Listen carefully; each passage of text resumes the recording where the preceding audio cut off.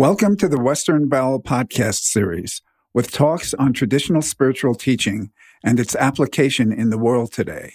The intention of the series is to offer something useful for those who are drawn to study themselves and engage practice on the spiritual path. New talks are posted twice each month. The content of the talks is for informational purposes only and not to provide any kind of counseling, medical, or professional advice. This podcast is titled Contemplation Awareness and Presence in Ordinary Life. The talk was given by Angelon Young on June 30th, 2020, in Prescott, Arizona. Angelon is a workshop leader, editor, and author of As It Is, Under the Punnai Tree, The Baul Tradition, Caught in the Beloved's Petticoats, Enlightened Duality with Lee Lozowick, and Krishna's Heretic Lovers. Angelon Young. Thank you so much for coming. Um, I would like to dedicate this evening's um, gathering to my very dear friend and companion on the path, Karuna Fedorshak. Karuna and um, Vijay together uh, uh, developed and created this Saturday Night Talk series that's been going on for 10 years now. And Karuna, um, Karuna died two weeks ago. And so we're remembering her and celebrating her every day these days.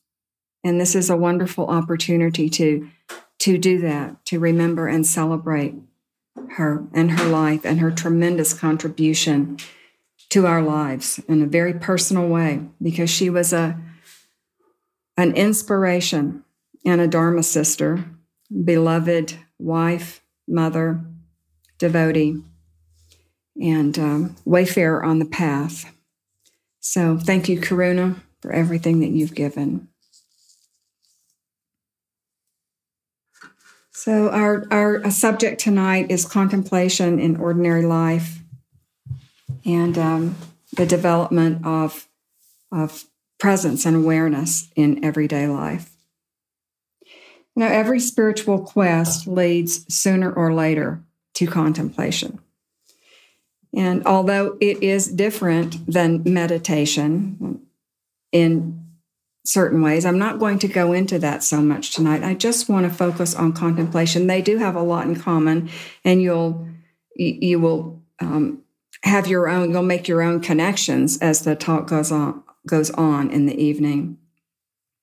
I'm going to talk for a while and um, present some of my reflections and some of my experience on contemplation, and then I'm going to open it up for us to be in conversation together, for you to ask questions or present a consideration or make comments.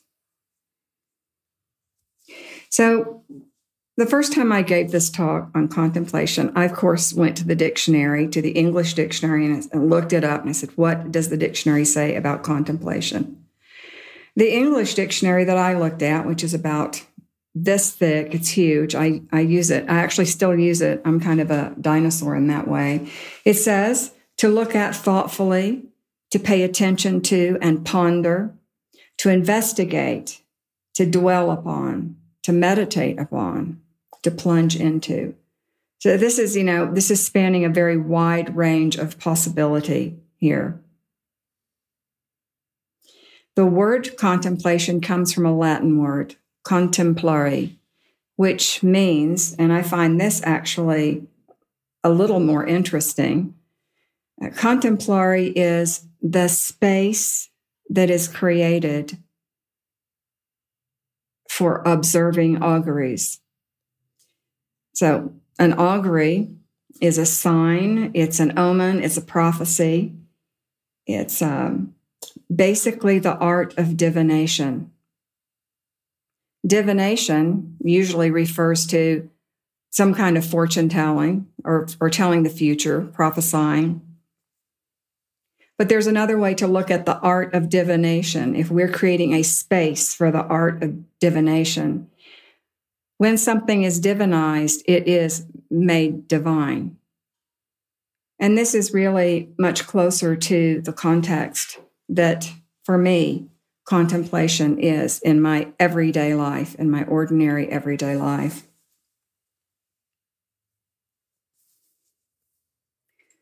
So, contemplating, contemplation, it's about this innate need that we have to go within and to cultivate the intuitive, creative, and sacred within ourselves, to get to know it. If we are if we are creating a space, an inner space inside in which we are going to um, practice the art of divination, We're looking to know that which is unknown. Really, it's not about signs and portents and the future and all that. Really, it's about the unknown. So, if we're going to begin to know that which is unknown, we have to begin to unknow that which the thinking mind believes that it knows. So, it's a kind of an interesting um, flip there that we have to do. We have to we have to go the opposite direction from what we think we know. Educating ourselves and study. This is a, a, a profound spiritual practice, and has been for me. It's very important. but at the same time, at some point, we have to jump off into not needing to know. Years ago, I think probably 35 years ago, I ran across this book titled The Cloud of Unknowing. It was written by an anonymous monk sometime, I think in like maybe the sixth century or ninth century or a long time ago, anyway. And I read the book. It's, it's a fabulous book. But the thing that stayed with me was the title, The Cloud of Unknowing, because it fascinated me back 35 years ago that I that, that I could begin a process of not knowing, of unknowing. Now, this may not sound like it's a lot of fun, but actually it is. It's about creating space to be free inside ourselves, free from our concepts, from everything that we've been told we should be doing, that we should be. Um, contemplation helps us to develop awareness in the moment. It happens anywhere, anytime. And I, I'm sure that every one of you has a reference point for um, some of your best contemplations happening when you're either washing the dishes or cleaning the house or or doing something, you know, raking up the leaves or working in a garden. Of course, that's a great time for contemplation. But it happens anytime, anywhere, even when we're telling a story to a child because really the contemplative mood it's an inner state of being it's not something that we're doing necessarily we can be doing something and be contemplative in that and we all we all know this we all have a reference point for it contemplation is alive and flowing it's not static it connects us to flow if we let ourselves go into it it's expansive it's unlimited it takes place inside of us in the inner world. And we could say that it's an act of love. In contemplation, we build our capacity to be a vessel for awareness. Awareness, out of our awareness, we can begin to create intention for our own transformation. We have an intending, we have an intention for transformation. And why are we interested in transformation?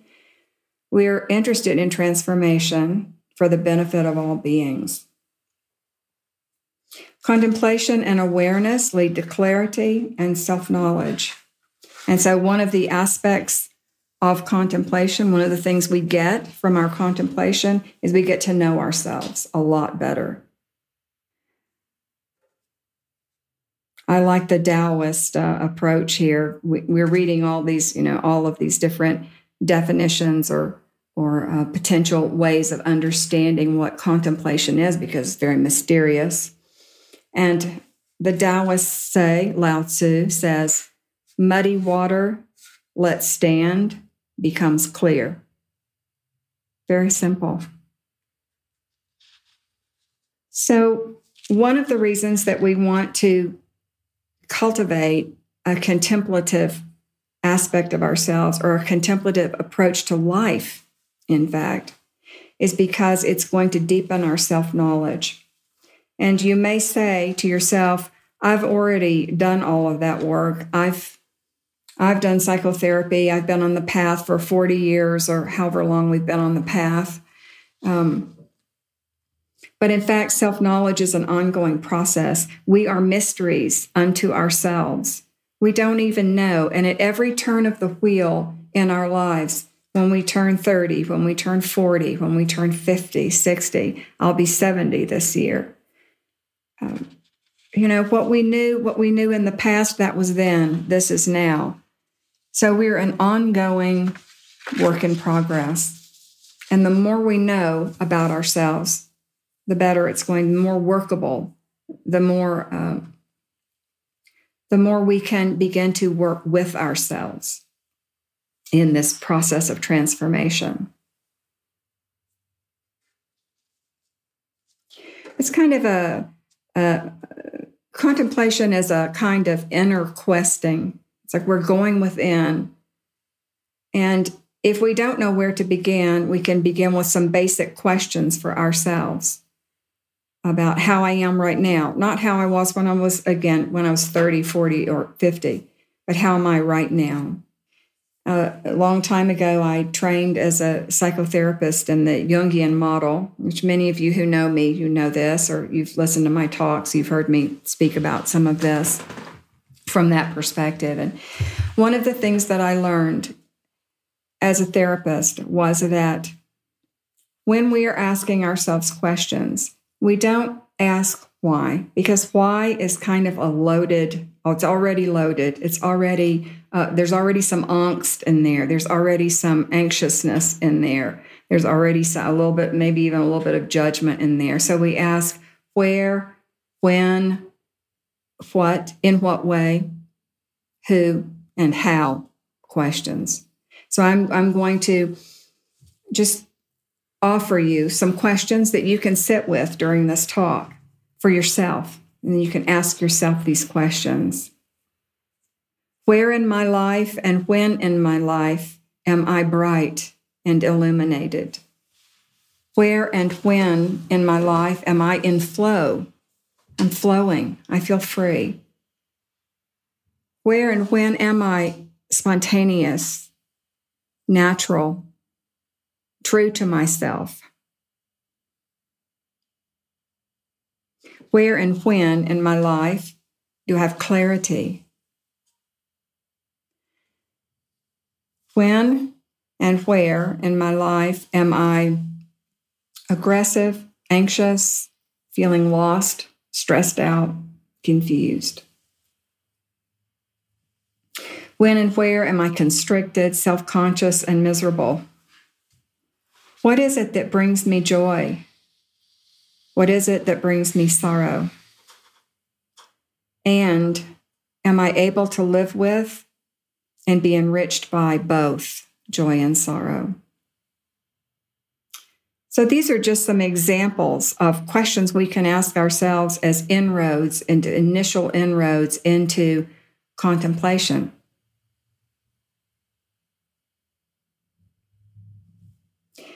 Asking questions, we're not looking for answers. It's not about answers, it's about insight and revelation. It's about freedom, it's about creating some inner space. It's even about radical self honesty. My teacher, Lee Lozowick, he said, uh, This is a quote from him, and he said this many times in many different ways. So here's how he said it on this particular occasion. He said, Every real teacher shows the student how to suffer in a real way. Real suffering produces alchemical gold. Ordinary suffering is just misery. My friend Lalita, Lalita Thomas, um, She's an ashram up in Canada. She's been on the path for many, many years. She coined this phrase luxury, luxury suffering. There's a lot of that that goes on when we have a life of privilege, as many of us do. Preparing for this talk, I, I uh, have contemplated quite a bit the things that the uh, racial violence that's going on in the United States right now, and including in Arizona.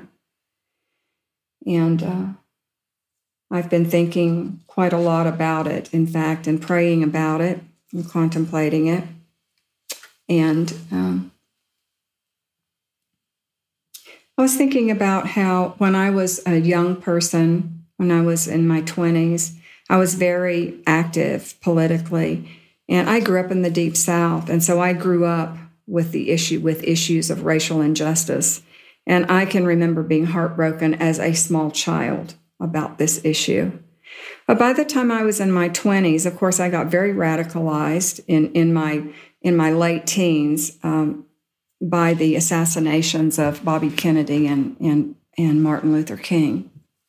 Very radicalized. But by the time I was in my, in my uh, mid and late 20s, my attention was drawn to the struggle of indigenous people in the United States and the tribal people, Native American people.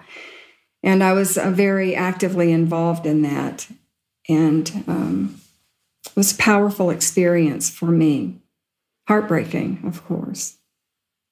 At that time, there were struggles going on all over the United States, but some of the ones that I was the most involved with were, was the um, struggle of the Navajo and Hopi people to try and stop the United States government from mining for uranium at Big Mountain in the northeast corner of Arizona.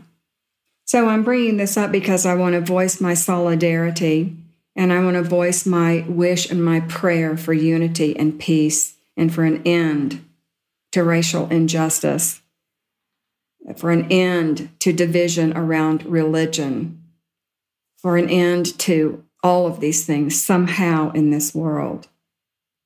By the time I was 35, I had for myself come to the realization, the insight that for me, the way I personally could make a difference in the world, in a world that is in desperate need of our love, our presence, our awareness, our conscious attention, our, our prayers for, for peace and for benevolence.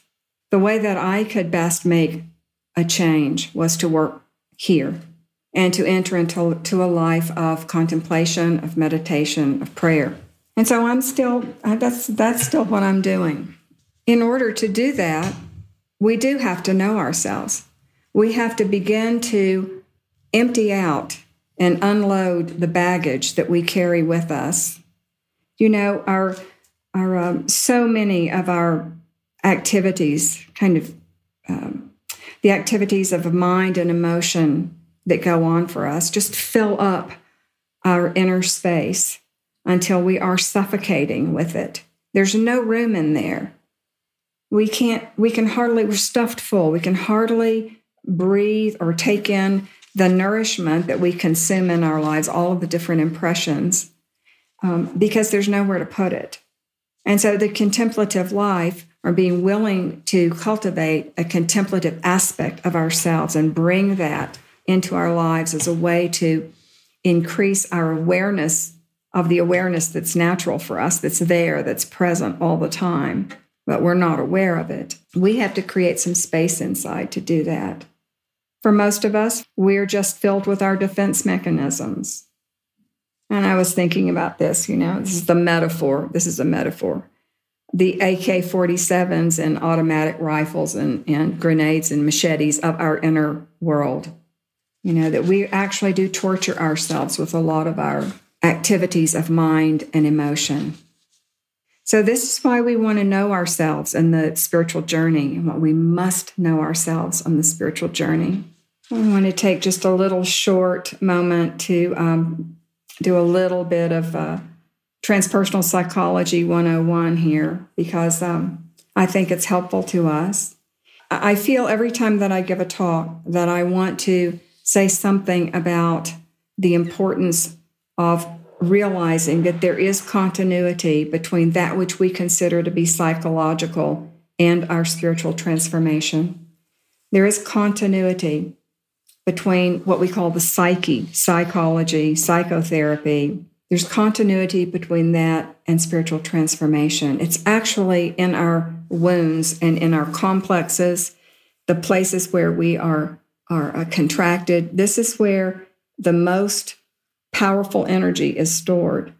And as we be, begin to come into conscious relationship with those, we begin to release a tremendous amount of energy that then becomes available to us in our quest and in our path. So it's very important that we not just throw that baby out with the bathwater.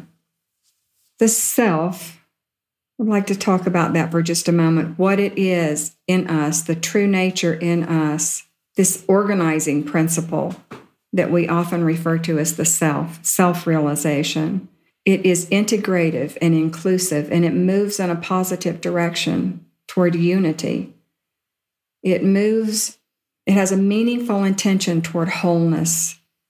It has a direction or a flow or an evolution toward unity and recognizes its universal connection with all the rest of life. So that's where we're going on the spiritual path, on the quest. We're headed toward unity. And that's self or true nature, which we're, we're already given, the whole thing, all of it Enlightenment is really already present for us. We just don't know it. We don't remember it. It's covered over. We've heard the teaching, we know this. But I know for myself, I can't hear it too many times. I need to hear it again and again. This self innately knows and feels and expresses its connectivity, the connection that we share with, with everything flowers, trees, rocks, bumblebees, lions, rattlesnakes.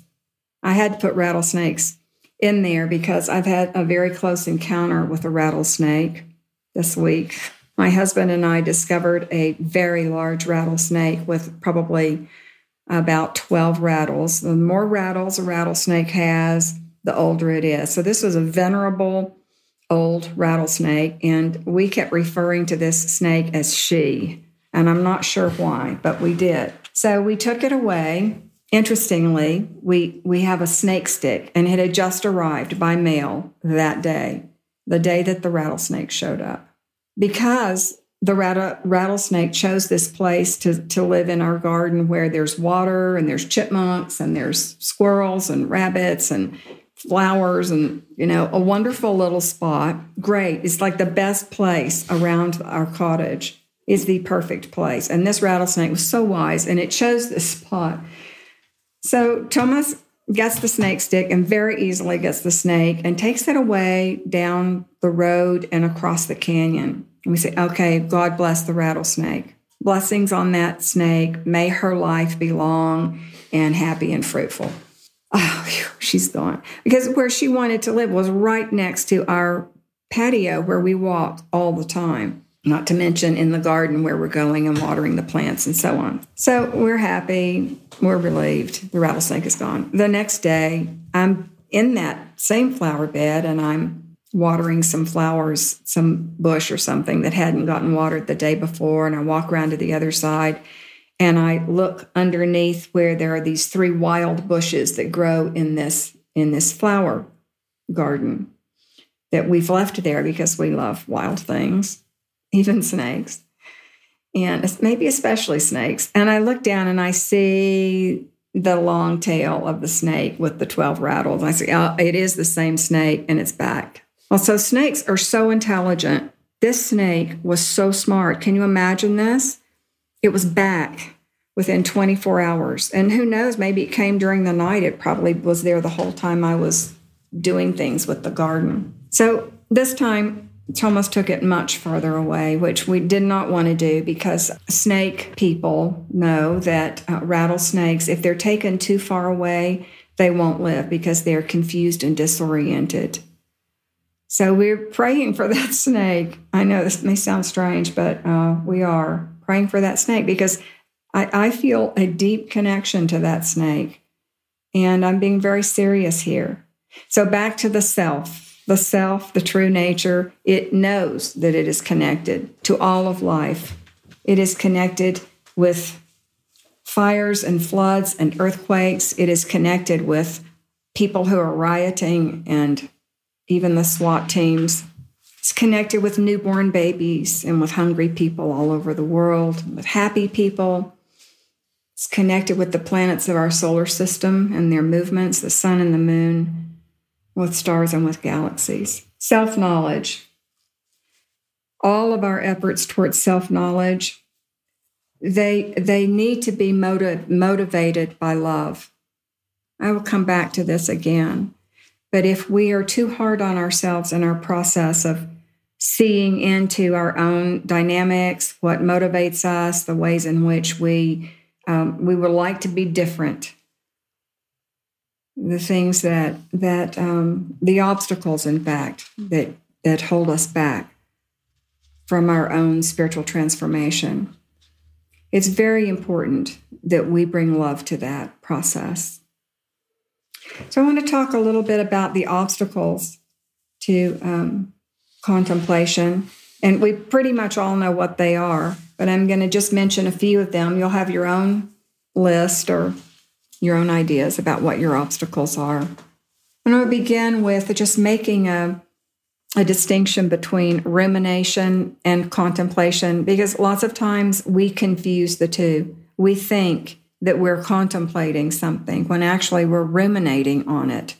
We're obsessing about it. We're going over it and over it and over it, which can be useful up to a point, like recapitulating things that have happened in our lives. Maybe we need to recapitulate for a long time because we're digesting something.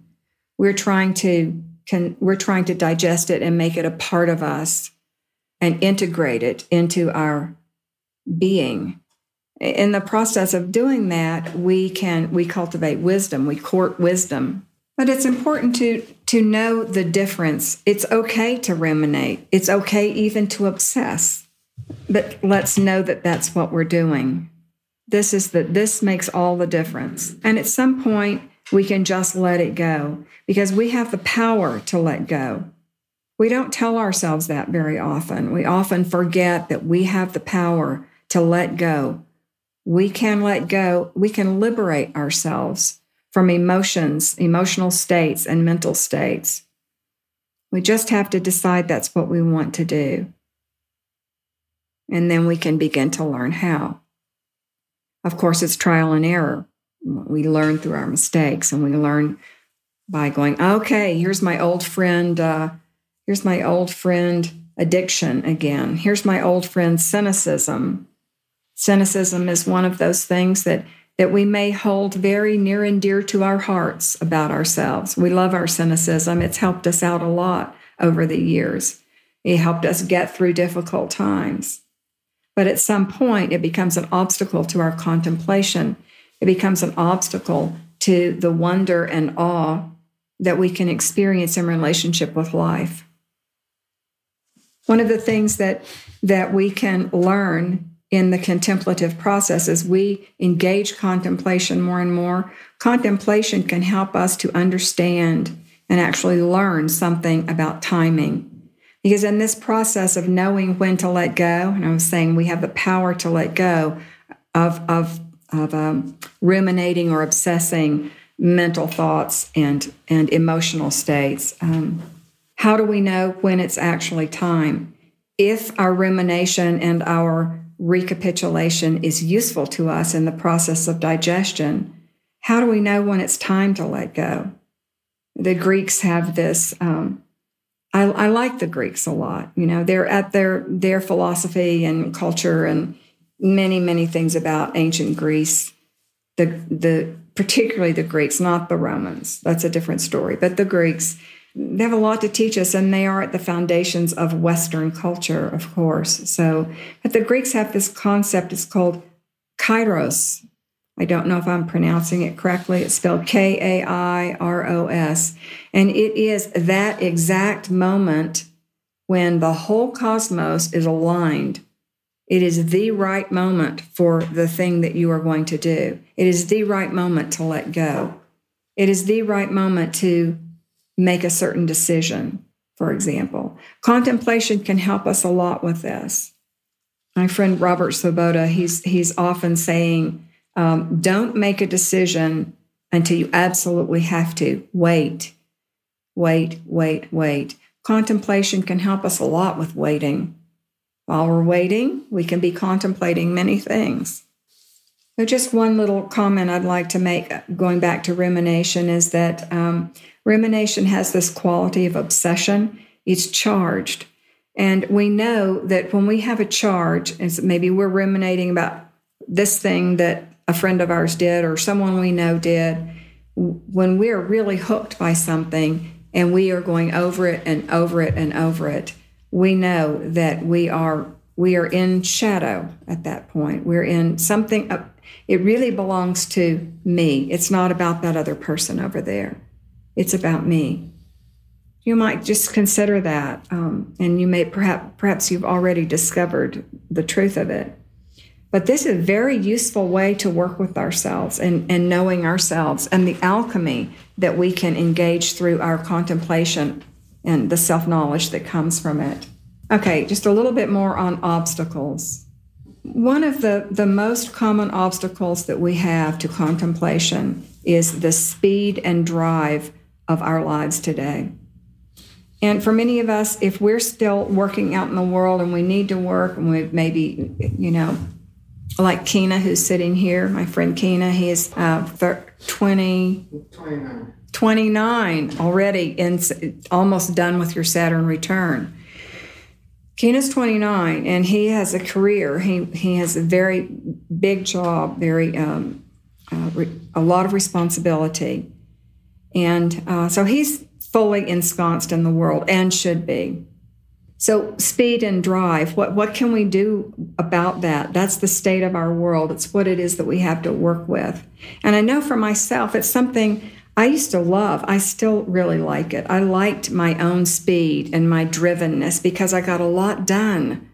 And I'm sure that you all have too. You get a lot done with speed and drive. But how often do we really complete something that we're doing? Are we leaving a trail behind us of those who, the, the, the broken and bleeding bodies of those who were working with us while we were speeding around and driving ourselves? Um, sometimes our speed and drive can be very out of relationship with others. And if we're out of relationship with others, then we are definitely out of relationship with ourselves. So the more we can bring this kind of contemplative presence and awareness to the things that we have to do, the list of things that we have to do, the more we are going to uh, be satisfied and happy in the long run, and the more others are going to be uh, drawn to us and able to work with us. The more creativity, the more um, cooperation. It's just it's just a much happier situation. I like to think of contemplation as an inner yoga. And I forgot to say that at the beginning of this talk. I'd like to say it now, and I, I, I want to say it a few times. It actually is an inner yoga because a yoga, of course, we, we all know this by now, a yoga is anything that links us to the divine. So, contemplation is a kind of inner yoga. It's also a healing process. It's this process of getting to know ourselves in a loving way and in with radical self honesty, with real self honesty. This is a healing process, and it is a yoga. So it's very important that we that we um, acknowledge and empower that process for ourselves. There's one other thing I want to mention in terms of obstacles, and that is that we we um, many times in our lives will find ourselves in an emotional cul-de-sac. Like we feel that we are trapped. We don't know what to do. We can't.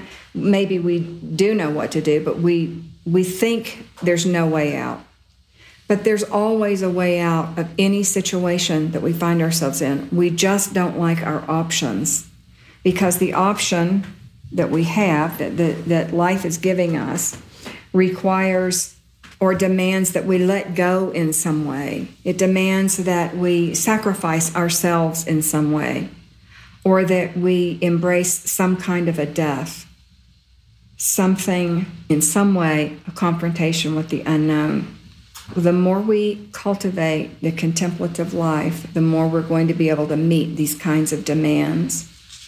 So we we want to engage a contemplative life because we want to see transformation and change. We want the world to be different. So we begin with ourselves and we work with ourselves. You know, if you all are, know about MC Yogi, he has this wonderful. He's a, a rap artist, and he um, he has created. He's he's written and has recorded all these fantastic uh, hip hop songs in which he tells the stories of the Indian Indian deities.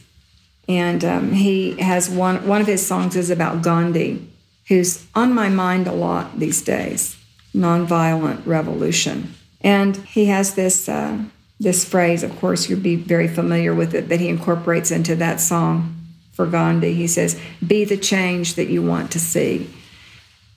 So, back to this uh, the need to approach this entire process. We are not talking about a strong armed effort to change. We're talking about nonviolent revolution. We're talking about revolution that is based on love. The more we become aware, the more we can see clearly, the more we can accept things as they are, and some space is created when we do this. And in that space, some change becomes possible in ourselves. I'd like to read a quote to you from my teacher, Lee. This is from a little book that was published in the very early 90s. It's the title of the book is Derisive Laughter uh, from a Bad Poet. And here's the quote The process is feminine, and the keys to the lock, which imprisons reality or truth, are in a feminine approach. We must go at this knot of confusion called the mind or sleep or unconsciousness, illusion, or Maya with a very gentle, humorous, patient, accepting relationship to it. We can practice vigorously, but with bright and flexible vigor, not rigid, righteous vigor.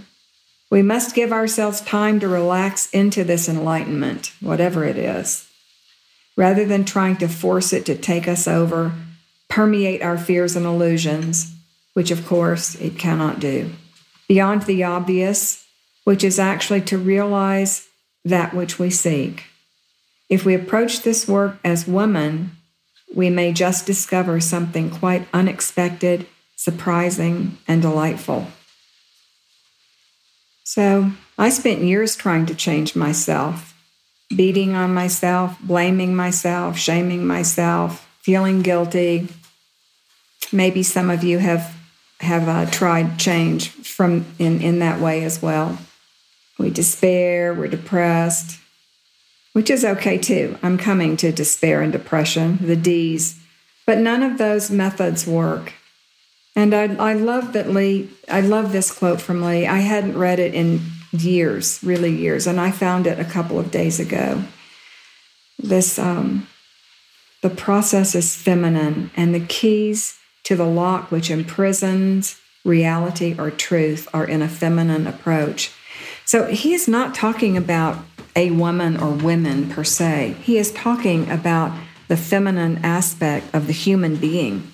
It's very important to, to understand that, or we miss the point altogether. This is for all of us. So we say to ourselves, after years and years, or maybe just a short time of trying to change ourselves through the um, hardcore effort uh, program of self improvement. We say, I can't be different. I've just tried. I'm a hopeless case. Uh, I give up. And if we go, if we really go into that place, we find out that there's just really an entrenched no in there. And a no is okay. Sometimes we usually, in fact, have to get through no to get to yes when it comes to our own transformation. So I want to suggest and invite you you can, if you remember this after this talk, this could be a takeaway point, could be something else too, but to just consider that you could just stay with that. All of those feelings about, I'm never going to change. This isn't going to change. I don't even want to change, maybe.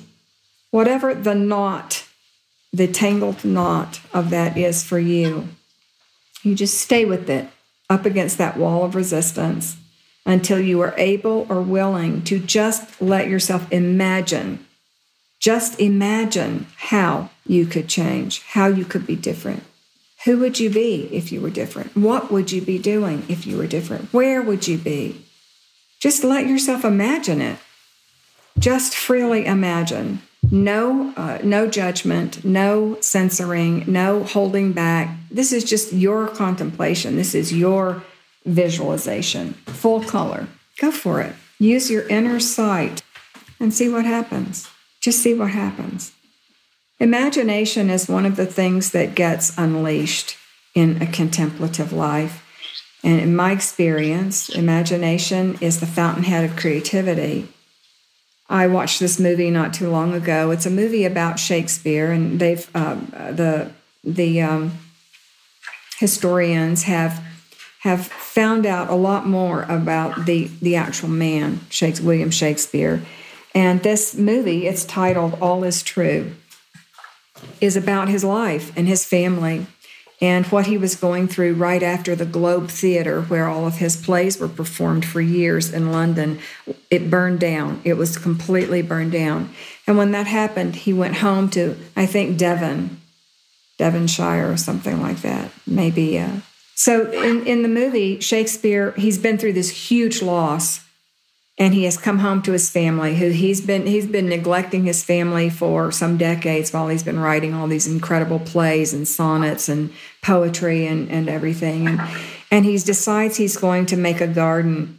And he's digging out in his garden one day and some young aspiring writer comes walking up and he says oh you're shakespeare aren't you? And shakespeare says yes i am. And and the young aspiring writer says how did you write all of that? What what what did you do? How how did that happen? And and Shakespeare says, Well, I just wrote it. And the young man says, But you you never went to Italy. You were never in Verona and you were never in in uh, Scots, Scotland. You were never how did you write about all these places?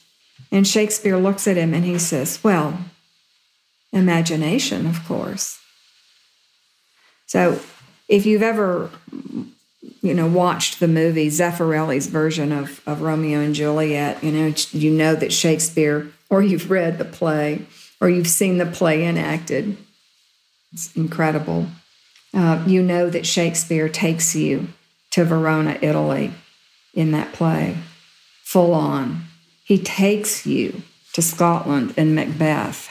He takes you wherever he wants to because he's using his imagination.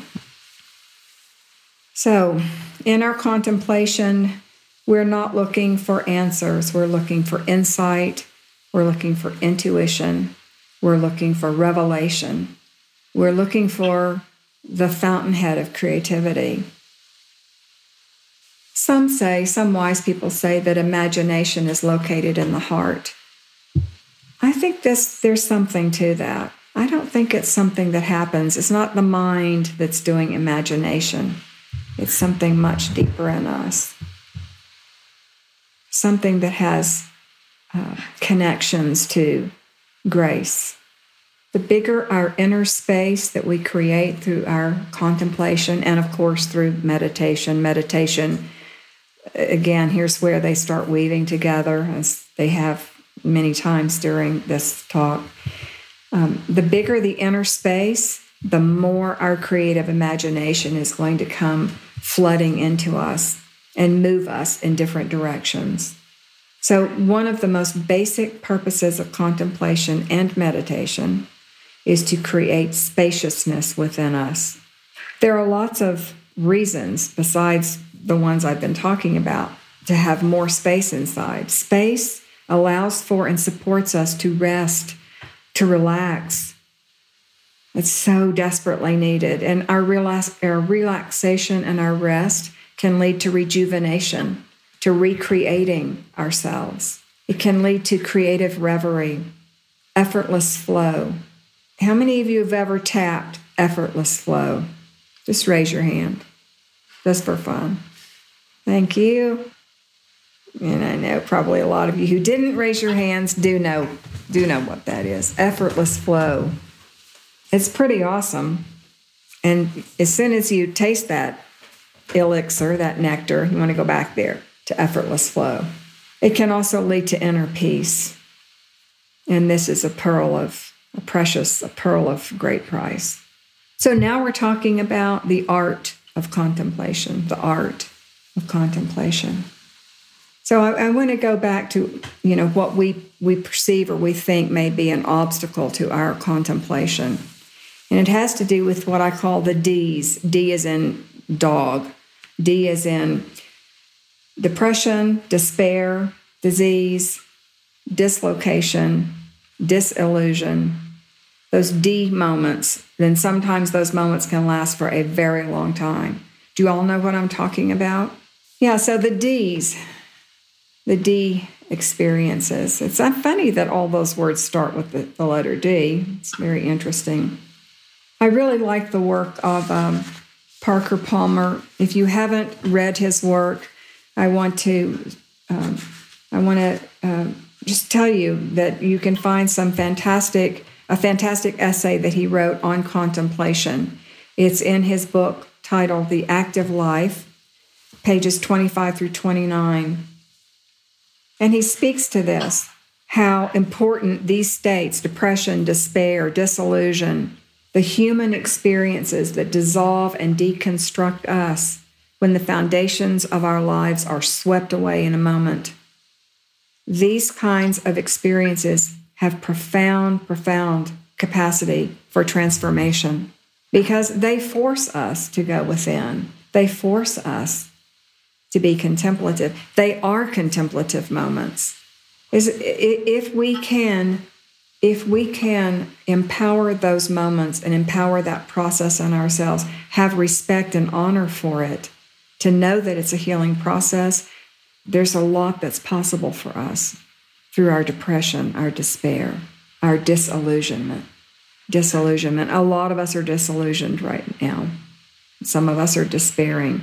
Things don't look so good at the moment. All of this kind of contemplation, you know, when, when we have when we when we have the foundations of our lives swept away, it often forces us to our knees. It forces us to pray, which of course is what the art of contemplation really is about.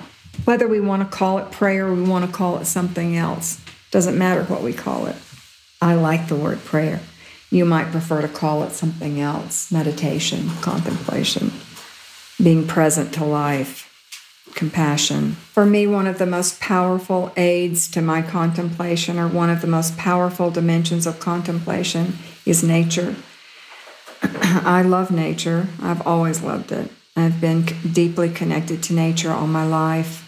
It's an active way to serve the world when we allow our contemplation to naturally evolve into prayer and we can bring nature into play because then we are in the feminine. Mother Nature, she's called for a reason. So it's nature's um, nature's impersonal beauty, nature's impersonal perfection, and all of the lessons that nature can teach us about continuity, about death and renewal, about beauty. I take refuge in nature I recommend, if you don't already, that you consider doing that. Trees can teach you a lot about contemplation because that's what they do. They just contemplate. So here's another quote from my teacher, Lee Lozowick. I love this one. As we become more mature in our practice, it becomes tacitly obvious that all things have soul. And the more that becomes obvious, the more spontaneous and natural is our honoring and respect for all things, which is in itself entering into political and social community. beyond our little spiritual enclave.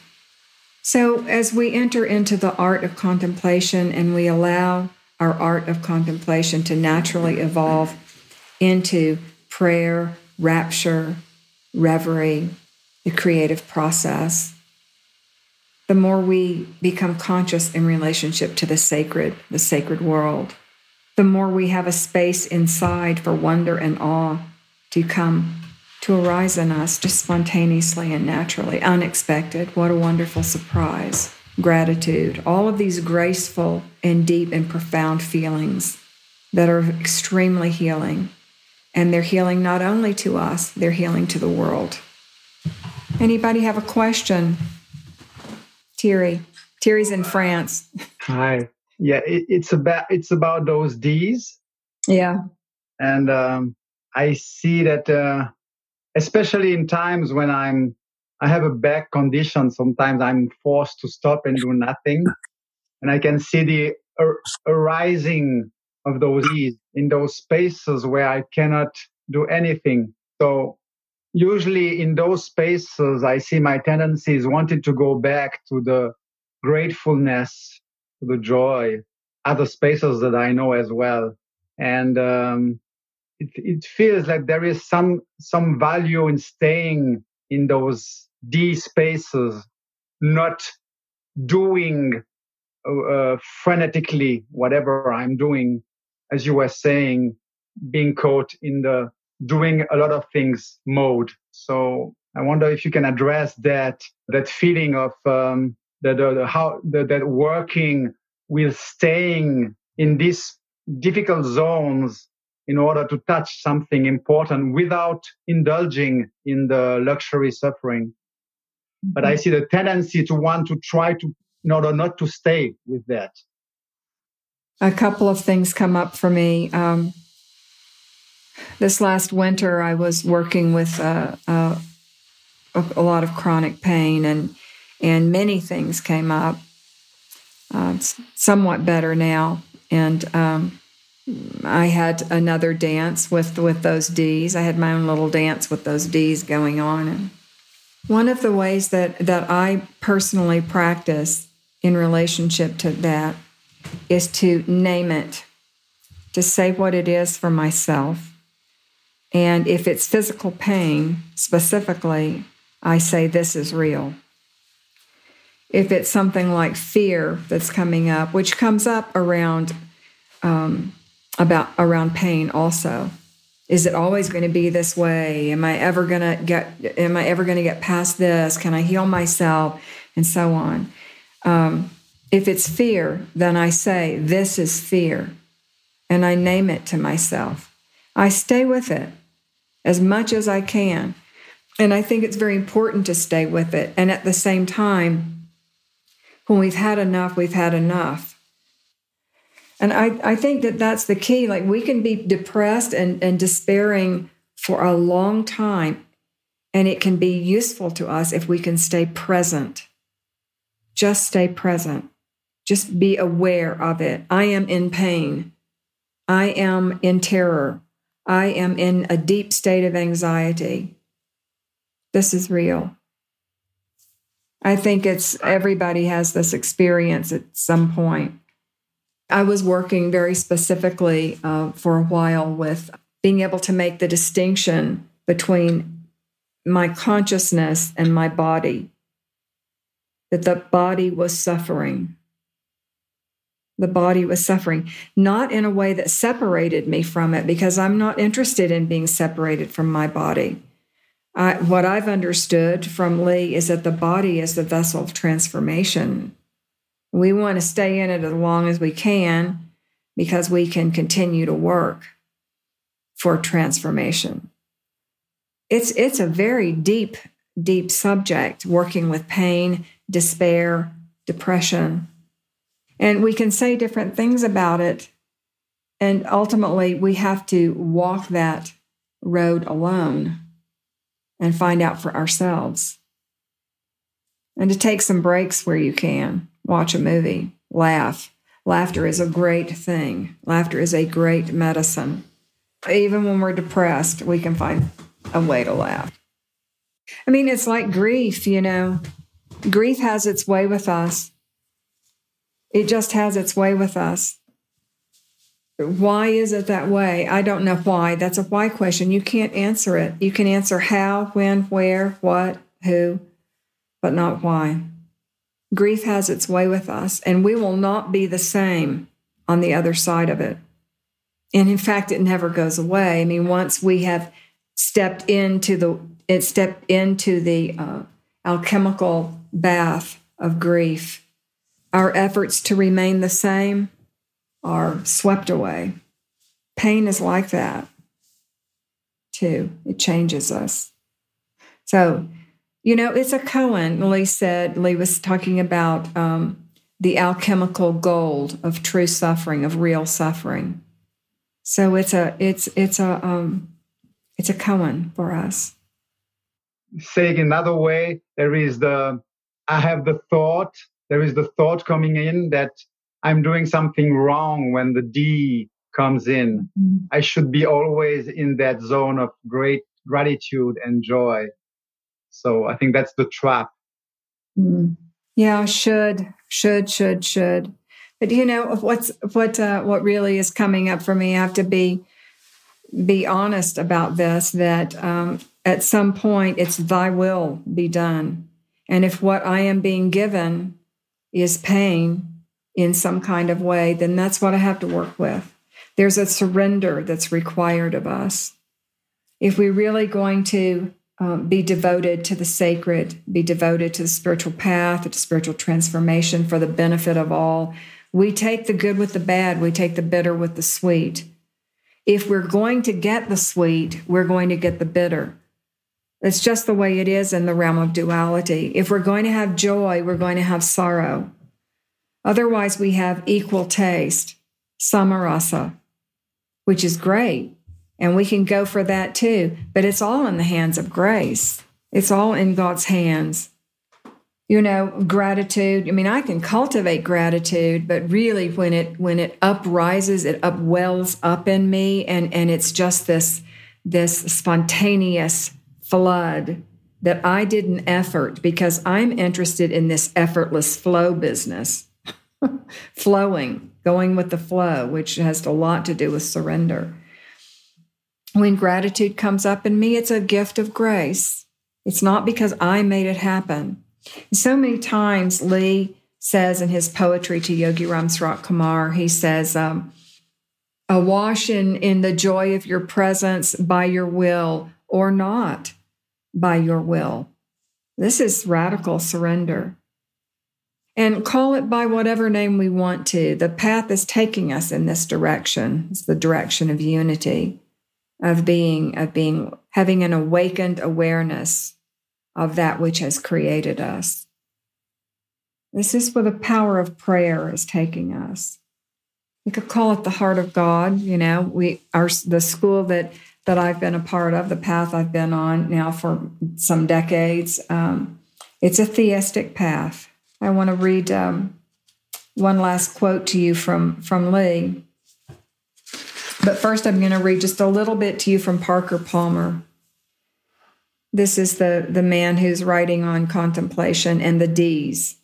He says, Solitude is a painful condition at first, as are disillusionment and dislocation and the other D's. But unlike those, Solitude is something that sometimes grows on people. There's a reason for this. Disillusionment and dislocation are temporary conditions, passages we make in order to move beyond illusion and live in truth. But involuntary solitude is the permanent truth of our lives. We are born in solitude, we die in solitude. And we have opportunities to learn to live creatively with that fact in the years between birth and death. The fruit of disillusionment and dislocation and all the other D's is the capacity to enter into and enjoy our solitude, compelled by the painful grace of a life process that is bent on helping us to get real. There's a Sanskrit word, bhavana, which um, refers to this state of contemplative prayer in which we focus on an object of our devotion, the cherished object of our devotion, Ishta Devata, um, whatever that might be. If if you're not particularly theistic, you can say truth, love, beauty, unity, non-dual realization. If you are if you are uh, disposed toward the theistic, then you can say whatever your object of devotion is. That which lives at the center of the heart. I love this phrase from Sri Anirvan, who's a Baul, a, a, a Baul who, a rare Baul who wrote and, and published books. And his books are have been very important to me. He says that the goal of his life is to live simply and die luminously. So the more we're willing to embrace and work with whatever life gives us, to have some humility, you know, that's one of the things that we get from the D's is we get some humility. Like grief. We become very humble when we're faced with the power of grief. I wanted to thank you for the distinction between uh, contemplation and rumination. It's sort of something that's come up recently. I take morning walks, uh, and so the idea of contemplation sort of, to me, seems to have less weight than the rumination. The rumination sort of has mm-hmm. um, emotional and and uh, uh, mental weight, and it's you, you see that it's just it's not going anywhere creative or constructive. Whereas very often in the contemplation, I can see that there's light in it as opposed to, you know, just that, that idea of, of being stuck. And if what you say is really true. Um, contemplation has a buoyance to it. And it, that's because it has space. Space is a wonderful thing. And just back to the the D's, just one last thing about the D's is that, you know, in the Rig Veda, it, the Rig Veda begins with instructing us to contemplate the nature of the sky, to understand the true nature of our own being, our own uh, mind, but like big mind, not the little one. And um, this is something we can always do, is we can look at the sky. We can relate with the sun and the moon. We can remember to just look at the sun, look at the moon, look at the sky. So I'm going to close with this quote from Lee How desperately the human race and its continued existence needs real devotees. I realize it is more than a lot to ask of you, this sacred way. I ask nonetheless. I am anxious. I am very anxious. I have seen the coming times. It is not only that you need God, it is that you need one another. Need, not even as food or shelter, but as deeply, more deeply than the very air we breathe. You must consider loving God in an organic, total way, or life has no meaning. This I know heart, flesh, blood and soul, chemically and cellularly. Existence is meaningless if you don't reach the heart of God. Thank you for your presence tonight.